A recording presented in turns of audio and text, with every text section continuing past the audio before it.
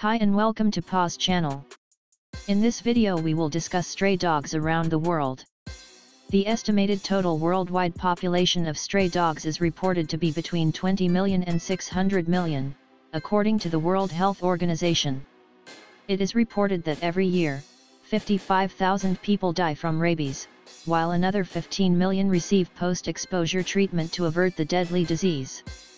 95% of these cases occur in Asia and Africa, and 99% of the fatalities are caused by dogs.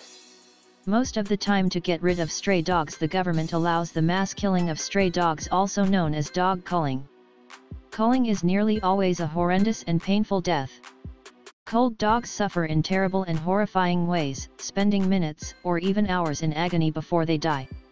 Global experts agree there is no evidence that the removal of dogs has any significant impact on the spread of rabies or dog population density.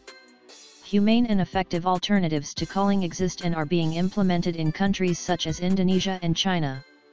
The problem with third world countries like India is their waste disposal system.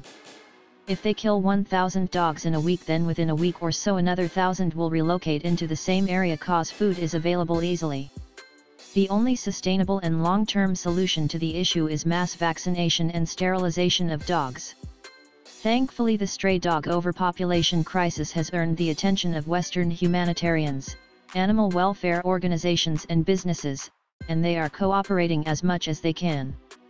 The World Health Organization is working aggressively, often partnering with non-government organizations, NGOs, to assure that the production and distribution of rabies vaccines and post-exposure treatment keeps up with demand.